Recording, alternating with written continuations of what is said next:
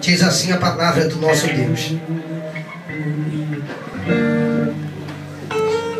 Assim diz o Senhor, o teu redentor, o Santo de Israel. Por amor de vós enviei inimigos contra a Babilônia, e a todos farei descer como fugitivos, isto é, os caldeus, nos navios com que se vangloriaram. Eu sou o Senhor, vosso Santo, Criador de Israel, vosso Rei. Assim diz o Senhor, o que preparou no mar um caminho, e nas águas impetuosas uma vereda. O que trouxe o carro e o cavalo e o exército e a força, eles juntamente se deitaram e nunca se levantaram. Estão extintos e como um pavio que se apagaram. Não vos lembreis das coisas passadas, nem considereis as antigas verso 19, a parte A. E eis que farei uma coisa nova. Amém? Você pode dar glória para Deus por essa palavra? Mais forte o glória. Quem pode dar glória? glória Do tamanho da tua vitória. Quem pode dar glória? glória assim está mais gostoso, né, irmão? Deus é fiel. Podei vos assentar. E eu serei breve. Glória seja dada ao nome do Senhor. Estamos aqui, irmãos, diante de uma palavra gloriosa, de uma palavra poderosa, de uma palavra muito forte da parte do nosso Deus para nossas vidas. O texto em que ora acabamos de ler vai contar a história de um povo em que durante muito tempo da sua trajetória vai sofrer da mão dos seus exatores, ou seja, da mão daqueles que oprimiam o povo. A história de Israel começa bem no começo da Bíblia, lá no Antigo Testamento, o livro do Êxodo, Louvado seja Deus, conta a narrativa de quando o povo vai sair da terra do Egito. Todos nós conhecemos a história em que Deus vai levantar um homem chamado Moisés. Esse homem ele tem a responsabilidade. Esse homem ele carrega consigo uma incumbência de retirar o povo de Deus de dentro do Egito. Haja visto que a Bíblia vai nos dizer que o povo de Israel vai passar 430 anos aproximadamente dentro do Egito, sendo escravizado por Faraó. Faraó seria intitulado reis do Egito naquela época. Todos nós conhecemos a história em que José, quando ele vai parar no Egito, ele se torna governador do Egito. Louvado seja Deus, trazendo assim, louvado seja o nome do Senhor, amenizando assim o sofrimento do povo, porque a Bíblia diz que José ele vai administrar, aleluia, louvado seja Deus, todo o Egito como governador. Agora a Bíblia vai dizer que José morre.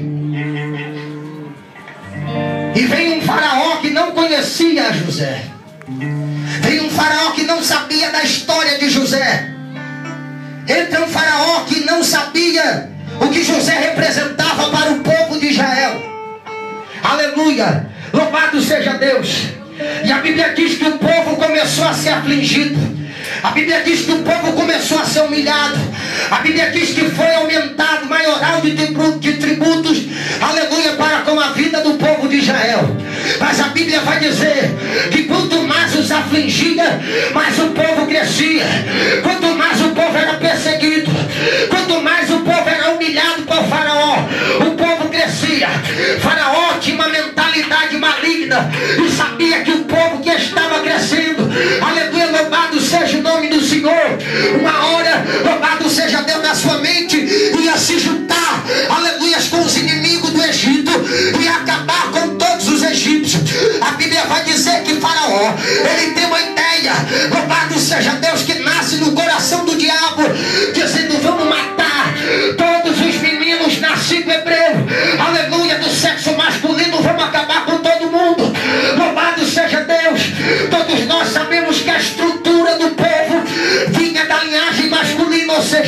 se arrancavam os homens de dentro do povo, logo não se podia produzir, não se podia crescer. Então Faraó decidiu matar todos os meninos, aleluia, que nascesse hebreu, aleluia, louvado seja Deus. No capítulo de número 2, nós vemos a história do nascimento de, de, de Moisés, aleluia, louvado seja Deus. A Bíblia diz, irmão, que uma das filhas de Faraó, louvado seja Deus, apropriadamente, aleluia, uma filhas das concubinas, aleluia, vai se banhar no rio. E a Bíblia diz, aleluia, louvado seja Deus, que estava uma cesta dentro do rio, perto do junco. A Bíblia diz que ela manda a sua serva buscar, e ela vai ver que tem um menino dos hebreus dentro daquela cesta. Ela vai se compadecer, e aleluia. O que me chama atenção, irmão, louvado seja Deus é que aquela mulher, ela identificou que era um dos hebreus. Louvado seja o nome do Senhor. Olha para esse irmão que está ao teu lado e fala para ele: aonde você vai,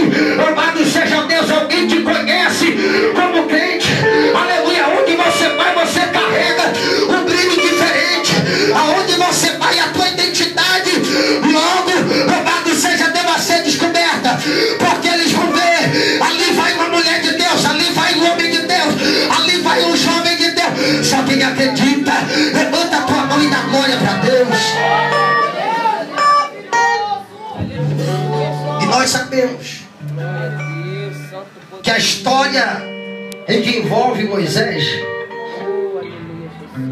é uma história de glória. Porque a Bíblia diz que Deus levanta Moisés primeiro. Todos nós conhecemos a história. Deus vai enviar dez pragas no Egito.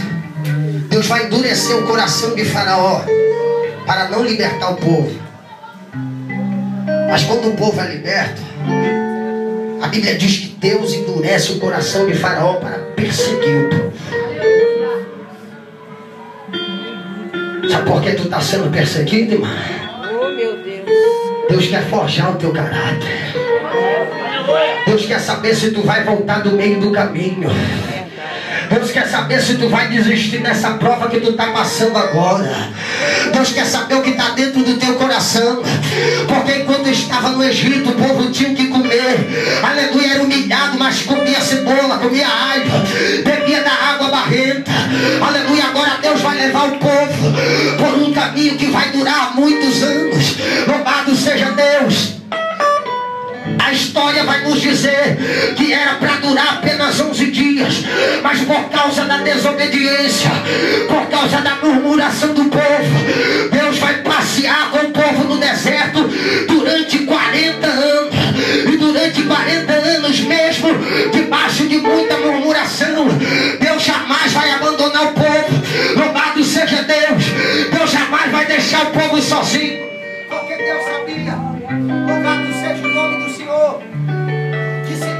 Deixasse o povo só, aleluia, o povo morria no deserto. Aleluia. Deus sabia, louvado seja o nome do Senhor, que se o povo não tivesse a presença de Deus, o povo não ia suportar o deserto.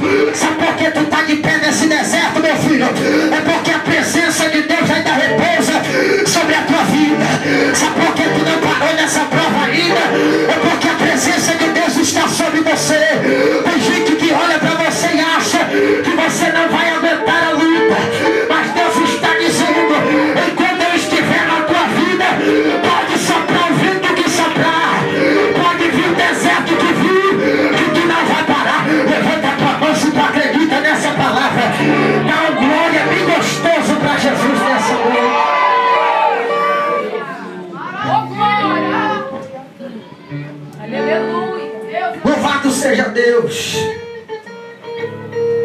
Bíblia diz, irmãos, que o povo sai, alcança a promessa por intermédio de Josué e Caleb.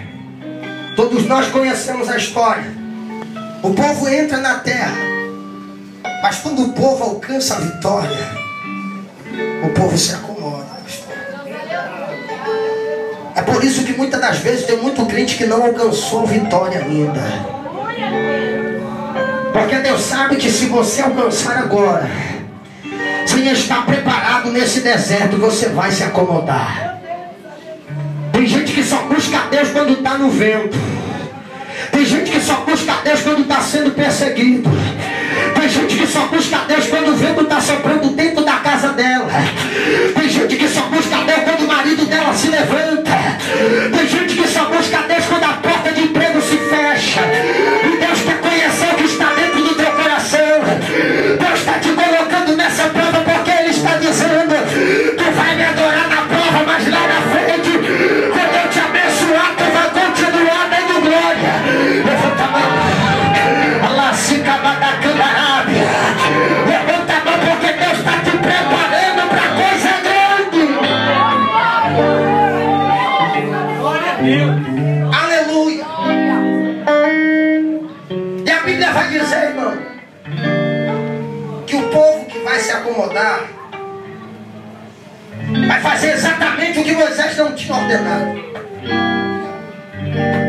Eles vão se misturar com mulheres estrangeiras.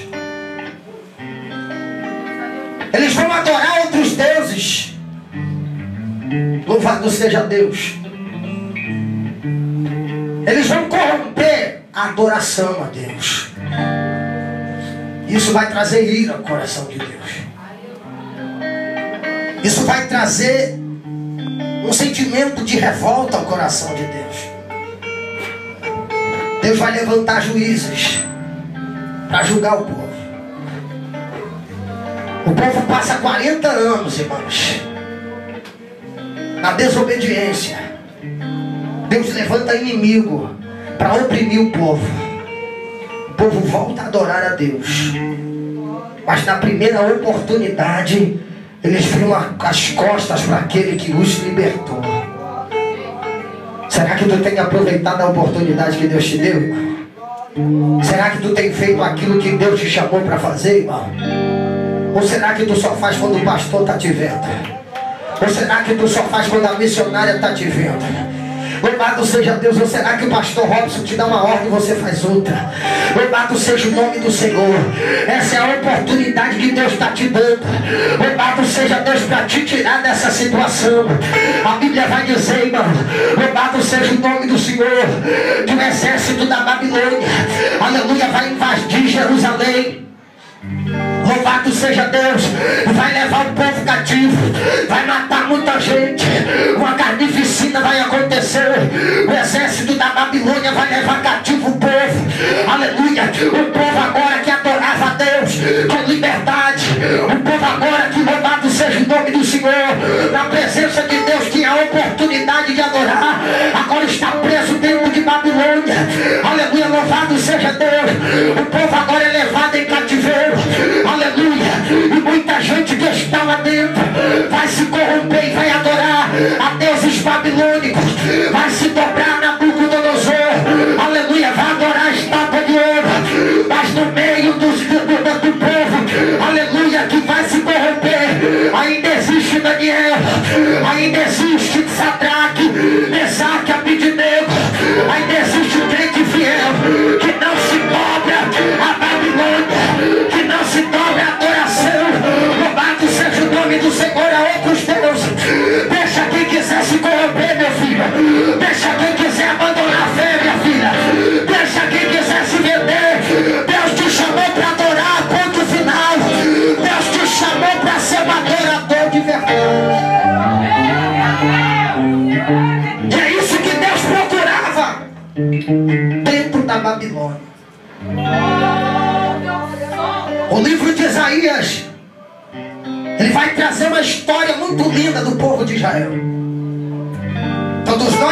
sabemos que Isaías vem de uma linhagem nobre.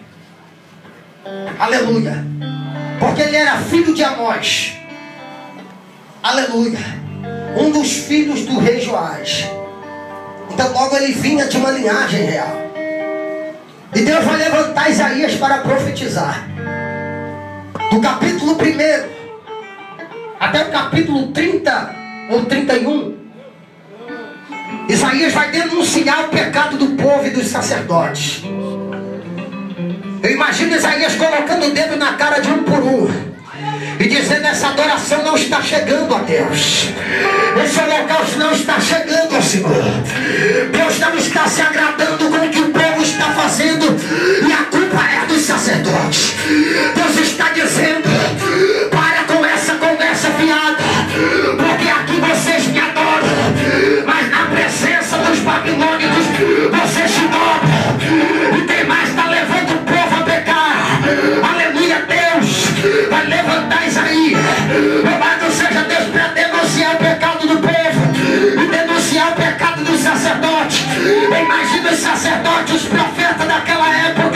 Aleluia, não sabendo onde